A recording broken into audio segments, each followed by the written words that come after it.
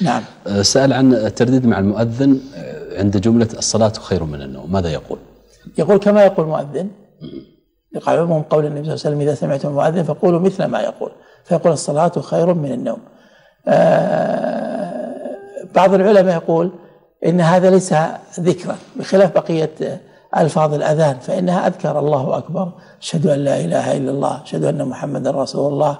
كلها لا إله إلا الله كلها أذكار. فيؤجر على تردادها والإجابة. لكن حي على الصلاة حي الفلاح. شرع فيها أن يجيب بقوله لا حول ولا قوة إلا بالله. قالوا كذلك قول الصلاة خير من النوم في صلاة الفجر. فإنه لا لا يقولها لأنها ليست ذكرا في ذاتها إنما هي تنبيه. فقال بعض الفقهاء يسن أن يقول أو يستحب يستحب أن يقول في إجابة الصلاة خير من النوم صدقت وبررت. صدقت يعني في ما أخبرت من أن الصلاة خير من النوم وبررت بهذه الدعوة. والذي يظهر والله تعالى أعلم أن يقول كما قال المؤذن لعموم قوله صلى الله عليه وسلم إذا سمعتم المؤذن فقولوا مثل ما يقول. والله أعلم.